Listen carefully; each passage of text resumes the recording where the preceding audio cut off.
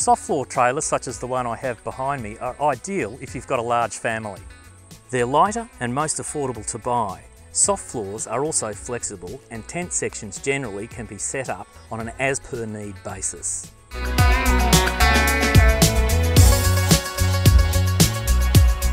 The key points to this soft floor camper trailer are that it's flexible, that there's plenty of room for your children and it's ideal for that long or short stay.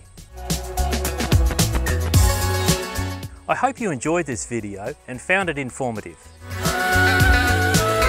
Mars Camper Trailers, where your journey begins.